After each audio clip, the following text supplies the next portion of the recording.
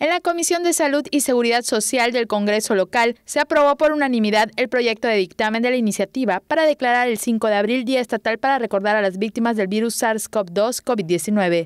En la sesión también se distribuyó la iniciativa presentada por los legisladores Eduardo Sobrino Sierra, Rafael Echazarreta Torres, Rubí Bechan y Alejandra Novelo Segura para la elaboración de la Ley de Prevención del Suicidio para el Estado. En la Comisión de Cultura Física y Deporte se continuó con el análisis de la iniciativa para reformar la Ley de Cultura Física y Deporte en deporte autóctono. También se continuó con el análisis de la iniciativa para reformar diversos artículos de la Ley de Cultura Física y Deporte y la Ley de la Juventud. En la sesión de la Comisión de Puntos Constitucionales y Gobernación del Congreso Local, se continuó con el análisis de la iniciativa para crear la Comisión Permanente de Desarrollo Turístico y Promoción Internacional. El presidente de la Junta de Gobierno y Coordinación Política, Víctor Hugo Lozano Poveda, resaltó que el diálogo es uno de los sellos característicos de la 63 legislatura. Tele Yucatán te informa.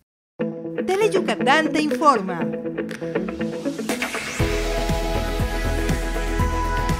Lunes a viernes, 3 de la tarde. Síguenos.